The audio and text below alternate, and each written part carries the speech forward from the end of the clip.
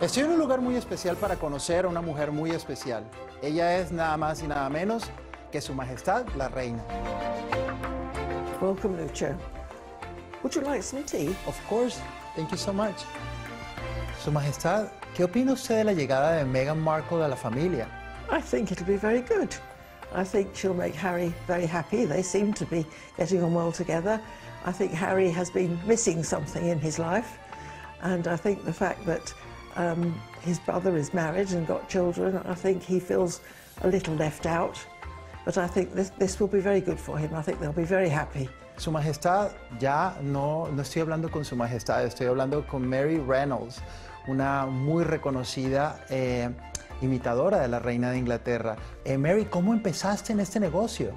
It's, it started when I was 17. I went to Holland for a holiday, and someone there said, oh, "You do look like Princess Elizabeth," but never thought anything about it.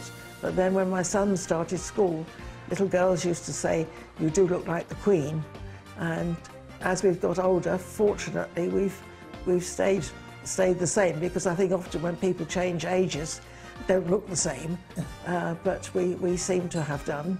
¿Qué es lo más difícil de imitar a la Reina de Inglaterra? Somehow or other it, it comes sort of fairly naturally. I think we're alike in some ways. We both like similar things. I must say I've not got a, a particular interest for horses like she has, but then she was brought up with them. But I think we've always liked the same sort of clothes. And I've always worn pearls, which is something that she always wears.